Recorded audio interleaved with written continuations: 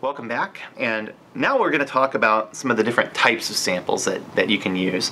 And uh, we're going to we're going to break these into two groups. We're going to talk about probability samples, and we're going to talk about non-probability samples. And I have been referring to these in the previous lectures, but here's where we're going to learn what, what really separates them. And again, these are really important terms. I mean, if you learn anything from this series, you need to understand population, sample, sample frame, probability sample, and non-probability sample. Those are probably the five most important terms that we're covering.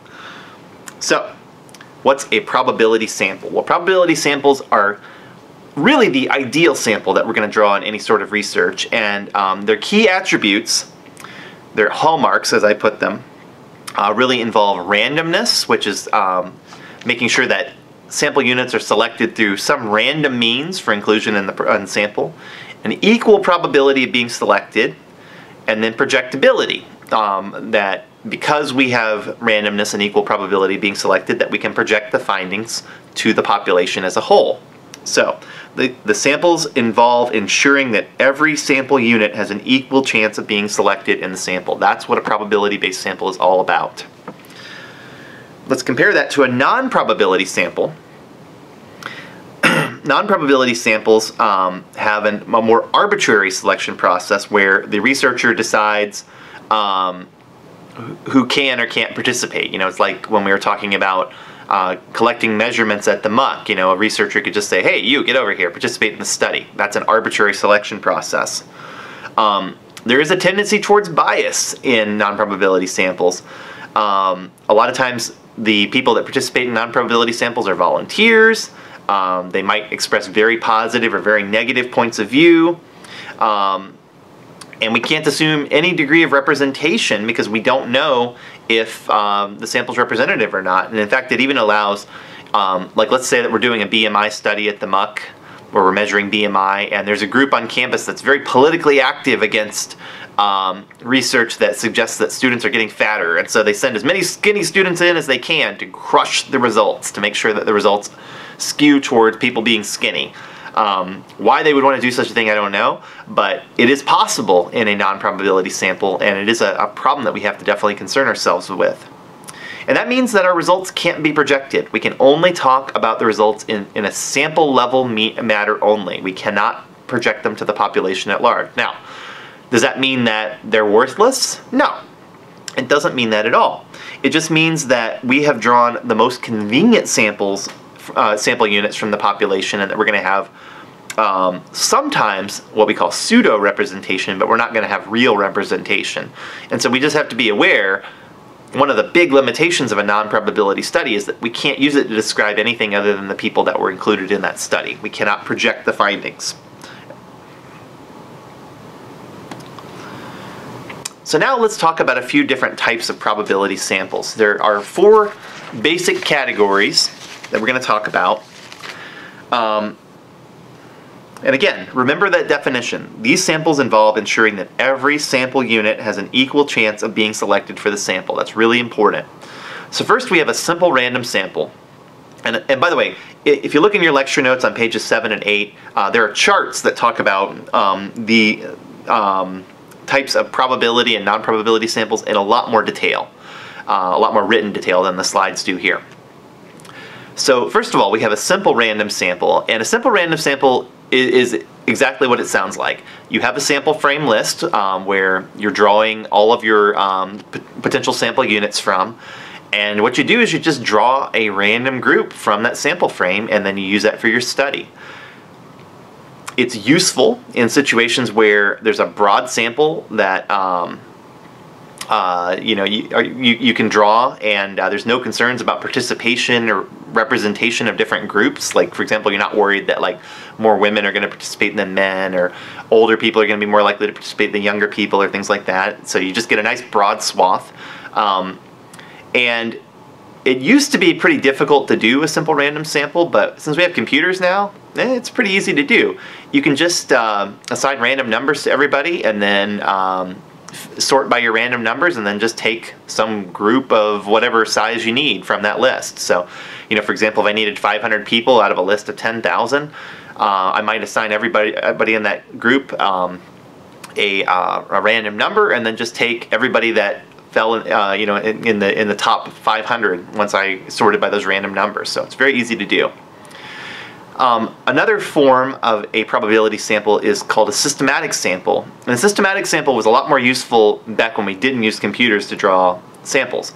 What you would do is instead of um, assigning everybody a random number and then sorting and then trying to, to, to figure out who participated in your sample, what you could do instead is you could say, okay, I'm going to start at a random spot in the list and I'm going to go by an interval. I'm going to, like every third person I'm going to include in the sample. So I'll start at a random point so that I have my randomness, and then I'm just going to take every third person. And uh, I'm going to continue on until I have my quota filled up for however many people I want to include in the sample. And, you know, it's not a bad method. Um, there are a couple of limitations with that method. One is that um, it, it's possible that maybe the list that you have um, there's something going on in that list that is causing every third person to be uh, less representative when they're chosen. So, you know, for example, let's say that you have a list uh, where it's sorted freshman, sophomore, junior, senior. Uh, so every every fourth entry you flip back to freshman, and you're picking every third person on that list. And uh, you so you, the the person the interval where you start is at junior, and then you're going to pick every third person.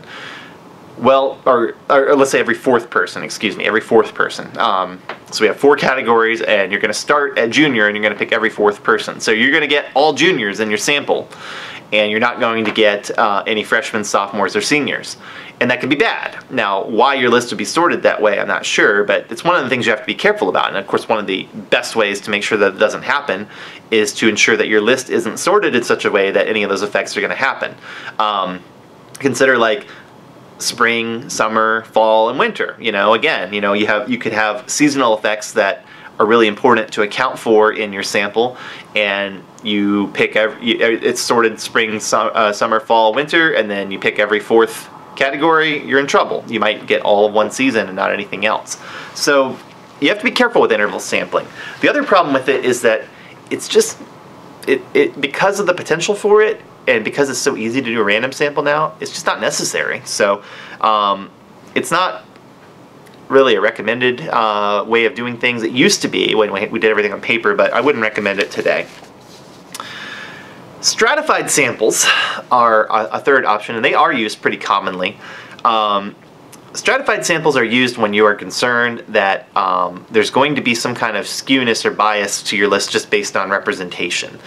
So again, uh, I said, you know, what if we were concerned that women were going to be more likely to participate in a survey than men? We were, we were concerned that the population has 50% women and 50% men, but that 70% of women, or 70% of the list is, uh, that participates is going to be women and only 30% is going to be men. And we, we think that because that's what historical data have shown us. So what we might do is we might say, okay, well, we need a total sample of 500, and it's a 50-50 split between men and women, so we're going to interview 250 women and 250 men. We're going to split the sample into two pieces and we're going to take a random sample from each of those two pieces. And that's a stratified sample. That's what it's all about. It's just about taking the sample, splitting it uh, by some grouping variable, gender, uh, age, or age categories, usually not usually just age, but age categories, maybe zip codes, um, you know, things like that. And then um, ensuring that each subset of your sample is proportionally sampled. So, you know, if you have, let's say, if, if in your population you have, um, uh, let's say, um, most of the people in your population, let's say 70% of the people in your population are going to be young, and 30% are going to be old, then you wouldn't do a 50-50 split in your sample. You wouldn't interview 50% young and 50% old. You would do a proportional sample. You would say, okay, 70% of the 500 people we need are going to be in the young group, and 30% of the, the people we need are going to be in the old group. So you would make sure that it's proportional. But then within each of those groups, with, within the young group and within the old group, you're going you're to take a random sample. And that randomness is what makes the stratified sample work is you're just setting the proportions based on your population statistics or your historical data, and you're ensuring that um, the, the sample that you get continues to be representative of the, of the population as a whole. And that's why you would use a stratified sample. Um, I would suggest that it's better to go with a, ran, a simple random sample unless you know that you need a stratified random sample.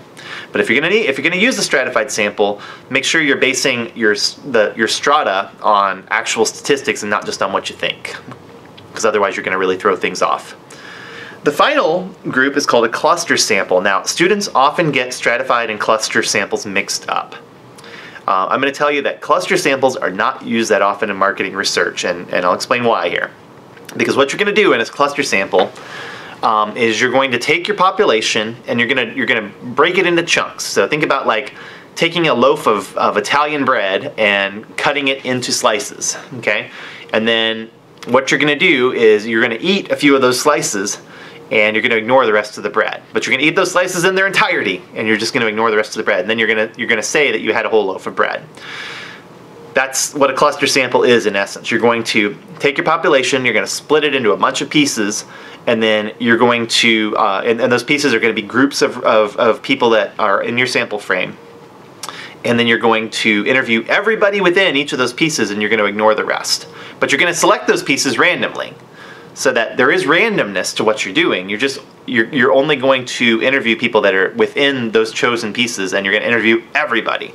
So um, let me let me explain this in a, in a more realistic fashion. Let's say that you're going to do a survey in the St. Louis area, and you know there are hundreds of zip codes in the St. Louis area. You have a list of everybody that lives in those zip codes. What you're going to do is you're going to randomly select 30 of those zip codes, and in those zip codes, you're going to interview every single person. So you're going to take a census in every one of those 30 zip codes that you've collected, but you're going to ignore all of the other hundreds of zip codes that exist in St. Louis. And then you're going to say that because you randomly selected those zip codes, that they are representative of the St. Louis area in general. And because you interviewed every single person within that zip code, that uh, you have complete data. Here's the problem with clustering. It's really hard to do. Um, how do you get everybody in a zip code to participate in a study unless you're the US government or some agency that has an ability to do that. It's really, really tough. And how do you um, split things up in a way that you're absolutely certain you can trust the results? It, it, it's very tricky. So I'm not suggesting you shouldn't use a clustering technique. I'm just saying in marketing research, I don't think I've seen it done very often. Um, most of the time, simple random samples and stratified samples are the way to go because a simple random sample just makes sense. It's really easy to do. And a stratified sample is essentially a simple random sample with the added uh, bonus of saying, hey, we're going to take one, these one or two groupings and we're going to make sure that they're represented. And so we're going to split the random sample into a few pieces and make sure that we randomly sample those few pieces and then put it all back together. A cluster sample, on the other hand, like I said, it's like having a whole loaf of bread taking out a few slices randomly, eating those, and then saying you ate the whole loaf of bread. It just it's it's uh, for marketing research. It's a little bit difficult to wrap your head around. So, with that said, now let's talk about some non-probability techniques. So, I'm going to tell you about four different types of non-probability samples, and with with non-probability samples, the the the most common of them is called a convenience sample. Now remember Non-probability samples mean that we, are going to take the most convenient sample units from the population. Sometimes we're going to have pseudo-representation, but pseudo-representation means it's going to appear to be representative, but it's not necessarily going to be representative. So um, we often, in, in the research field, um, just call a non-probability sample a convenience sample because that's what it is. It's just drawing uh, people that are convenient to participate in your study and not really worrying about whether they're representative or not. There are times where that's okay to do. There are times where we need that. We'll, we'll, we'll touch on those at the end of this lecture series, but that's what a convenient sample is. uh, purposive sampling, also known as judgment sampling, um, purposive, you know, it means uh, with purpose. That, that's the idea. We're, purposive sampling is where we're going to take uh, people that the researcher, the research team judges are best qualified to participate in the survey.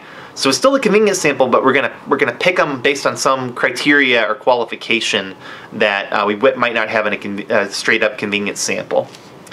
And you're going to use it a lot in business to business research. You're going to use it a lot in situations where you have really small populations, uh, maybe like expert users or group, you know, groups like that, where um, you're you're not going to be able to draw a random sample easily, and even if you were, you're not you don't necessarily need to.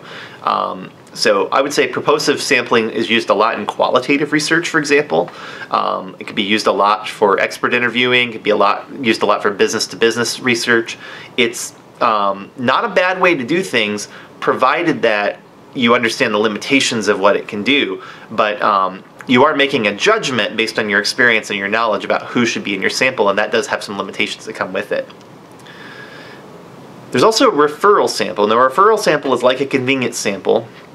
Um, but what you do is after people participate in your study, you invite them to refer friends or family or colleagues or whoever to also participate. It's all, sometimes also known as a snowball sample. You know, like the idea is you start off with a small snowball and you roll it down the hill and it begins to build and build and build.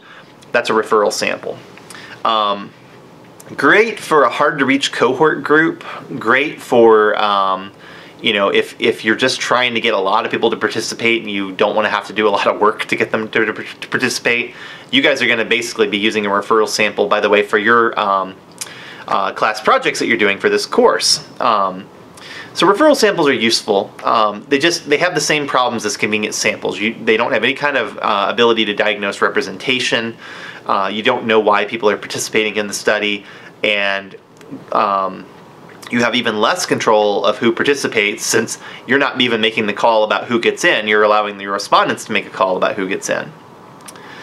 The final non-probability sample we'll talk about is a quota sample. Now, a quota sample is where you say, okay, I'm going to take a convenience sample, but I'm going to set some guidelines, darn it. I'm going to make sure that the people that participate in this study fit the criteria that I'm looking for. So, um, you know what? I'm going to make sure that after that we're going to do 500 interviews we're going to have a 50-50 split of men and women. That's the way it's going to be. And it's a convenience sample. There's not, they're not being selected through a random process, but I'm going to cut off when we get to 250 women and make sure that we get 250 men as well.